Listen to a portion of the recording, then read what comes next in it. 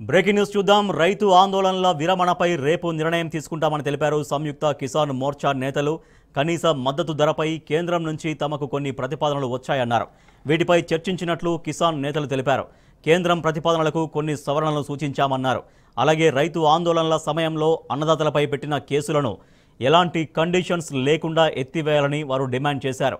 కనీస మద్దతు ధరపై కేంద్రం ఏర్పాటు చేసే కమిటీలో ఎస్కేఎం నేతలను సభ్యులుగా చేర్చాలని రైతు సంఘాలు డిమాండ్ చేస్తున్నాయి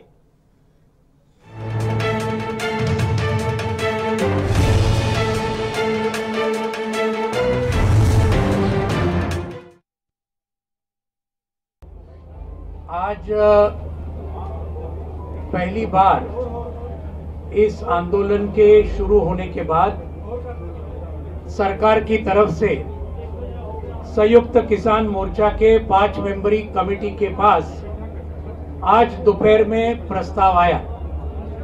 गृह मंत्रालय से वो प्रस्ताव आया। उसके पहले उनके साथ चर्चा हुई। आज संयुक्त किसान मोर्चा के सामने हमने वो प्रस्ताव को रखा। और बहुत अच्छी चर्चा हुई, सकारात्मक चर्चा हुई। कुछ बिंदुओं के ऊपर हमारे कई साथियों के मन में कुछ संदेह था, कुछ उनके सुझाव थे, लेकिन ये सब कंस्ट्रक्टिव सुझाव थे। इस प्रस्ताव को और ज़्यादा अच्छा करने के लिए वो सुझाव हमारे सभी साथियों ने दिए।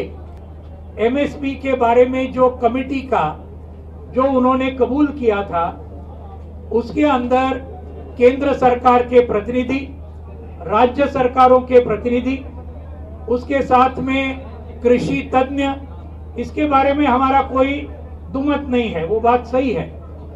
लेकिन उसके अंदर किसान संगठन और उसके भी संयुक्त किसान मोर्चे की भी नुमाइंदे उसके अंदर होंगे। ये एक संदेह है कि ये कब होगी ये प्रक्रिया। उसके अंदर लिखा है, आंदोलन वापस लेने के बाद हम शुरू करेंगे। हमारा कहना है कि ये एक विश्वास की बात है।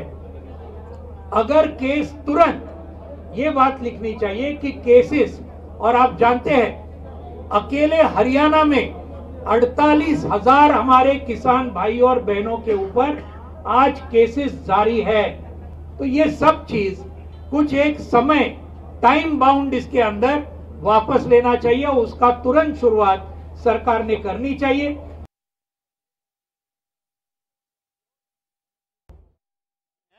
इसमें छोटी एक एक बात के ऊपर क्या लग जाता है बहुत देर जाता है। अभी जो सरकार ने प्रस्ताव दिया उसमें कह रहे थे कोई शब्द है जिसपे जो किसान जो है ऐसा भी है ऐसा भी है।